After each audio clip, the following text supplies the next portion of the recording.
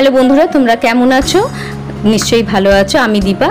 আজ তোমাদের কাছে নিয়ে চলে এসেছি আলু পটলের রসা। তো চলো, কেমন করে করেছি তোমাদের সাথে রেসিপিটা শেয়ার করি। আর আমার চ্যানেলটি যদি সাবস্ক্রাইব করে না থাকো প্লিজ আমার অনুরোধ রইল সাবস্ক্রাইব করে আর বেল আইকনটি প্রেস করতে ভুলো না।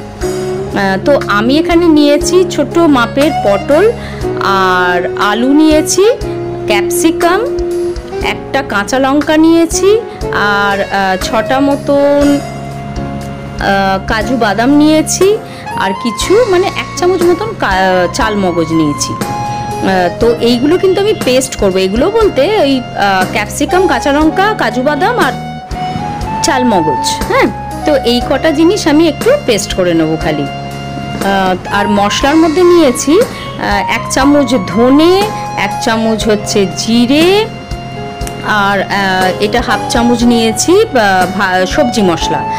আর গোটা জিরে নিয়েছি হলুদ নিয়েছি, আর এখানে নিয়েছি ঝাল হওয়া আর রং হওয়া গুঁড়ো লঙ্কা, ঠিক আছে? আর এখানে নিয়েছি একটা শুকনো লঙ্কা ফোড়নে দেবো বলে। তো চলো। তো আমি এখানে কড়াইতে আড়াই চামচ মতন সাদা তেল নিয়েছি, তোমরা সর্ষের তেলও নিতে পারো, তাতে অসুবিধা নেই। আর এখানে আমি দিচ্ছি অল্প একটু গুঁড়ো লঙ্কা গুঁড়ো দিলাম, আর একটুখানি দেব হলুদ। কারণ এই জন্য দিলাম তেলের মধ্যে যে পটলটা যে ভাজবো বা আলু ভাজবো, খুব সুন্দর একটা কালার এসে যাবে। তো সেই জন্য আমি এটা করেছি। আর হ্যাঁ আর একটা কথা বলতে ভুলে গেছিলাম। পটলের গাটা একটু আমি কেটে কেটে নিয়েছি। হ্যাঁ ওটা আমি একটু মিস হয়ে গেছে, তো সরি তো এইটা দিয়ে এবার আমি ভাজা নাড়াচাড়া করব। ও, আর এইটা আমি মিক্স কর গ্রাইন্ড করে নেব, সেটা হচ্ছে ক্যাপসিকাম আর তো যা যা বলেছিলাম আর কি ক্যাপসিকাম কাজু বাদাম, চাল মগজ কাঁচা লঙ্কা একটা, ওইগুলো। আর পটলটাকে ভালো ভালো করে ভেজে নেব। নিয়ে তুলে নেব, ওই তেলেই দিয়ে দেবো জিরে ফোড়ন, আর লঙ্কাটা দিয়ে দেবো। কেটে। এইভাবে দিয়ে দেবো। দিয়ে একটু বাদামি রং হলেই আলুগুলো পরপর যতগুলো আলু নিয়েছি আমি তোমাদের ইচ্ছা মতন তোমরা যেরকম পারবে নেবে, আমি পাঁচ ছটা মতন আলু নিয়েছি, তো ওইটা আমি এর মধ্যে দিয়ে দেবো। আলুটাকেও একটু ব্রাউন করে মানে বাদামি রং করে একটু ভেজে নেব। নাড়াচাড়া নাড়াচাড়া করে ভেজে নেব। তো দেখো ঠিক এরকম একটা কালার আসবে, হালকা কালার আসবে, তো তার মধ্যে আমি কি করব? পটলগুলো ঢেলে দেবো এবার। এরবারে যে কি করব? যে মশলাগুলো, সব আমি এর মধ্যে মশলাগুলো ঢেলে দেবো। পুরো ঢেলে দেবো।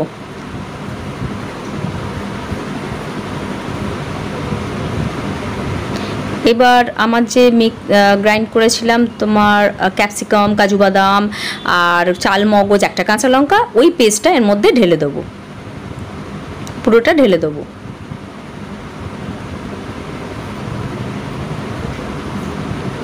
পুরোটা ঢেলে দিয়ে একটু নাড়াচাড়া করব যাতে এই পেস্টটা আর মশলাটা আলু পটলের মধ্যে মিশে মিশে যায়। তো আমি এইবার যেটা করব, নুন দেবো আন্দাজ মতন, যতটা লাগে।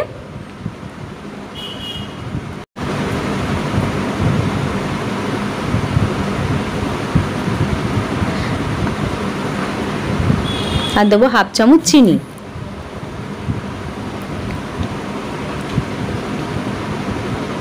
দিয়ে তোমরা মিষ্টির জন্য আরেকটু দিতে পারো চিনি, কিন্তু আমি এখানে একটু কমই দিলাম।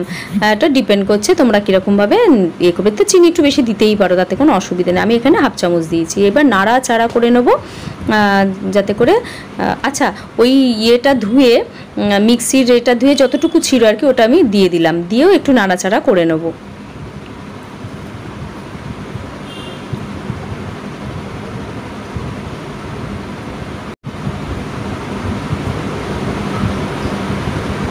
একটু নাড়াচাড়া করে নেব।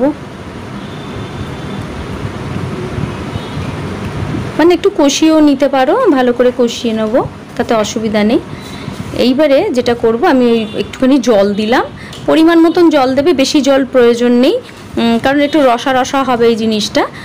তো আমি একটু জল দিয়ে দিলাম, যাতে আলু আর পটলটা সামান্যভাবে আমি ভেজে তো নিয়েইছিলাম, একটু অর্ধেক সেদ্ধ হয়েই গেছিল, আর একটু যাতে সেদ্ধ হয়ে যায়, নরম হয়ে যায় আর কি।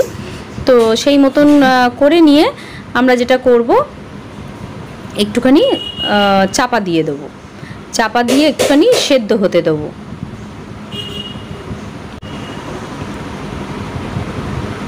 মোটামুটি দেখো বেশ টকবক করে ফুটতে শুরু করলে চাপাটা খুলে, পাঁচ মিনিট বাদে চাপাটা খুলে, ওতে দেব হাফ কাপ মতন দুধ ঢেলে দেব। হাফ কাপ মতন দুধ ঢেলে দেবো। দিয়ে ওটা আবারও একটু চাপা দিয়ে দেবো।